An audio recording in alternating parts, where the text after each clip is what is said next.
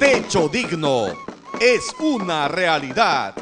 Como le digo, no- nunca pensé yo este, tener este techo. Como dice usted, usted este, lo que usted este, habla, tú le cumples. Señor presidente. Más dignidad y calidad de vida para nuestros hermanos más humildes de nuestra región. Loreto, grande y fuerte.